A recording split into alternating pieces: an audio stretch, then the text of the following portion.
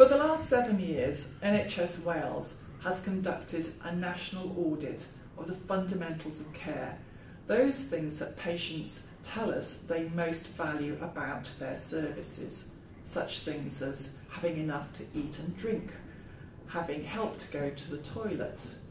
And it is important for us to listen to what patients say to us about our services.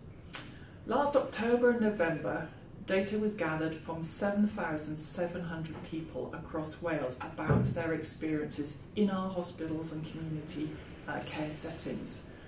I was very pleased to see that 98% of them said they were treated with dignity and respect, that they were um, given privacy while in hospital, and that they were helped to be independent.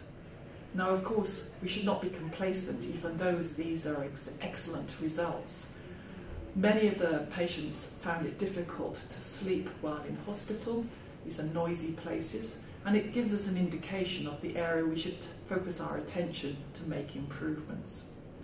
I would strongly recommend you have a look at the report as it comes online on the Welsh Government website uh, this month as it tells you much about what it is like to receive care in NHS Wales.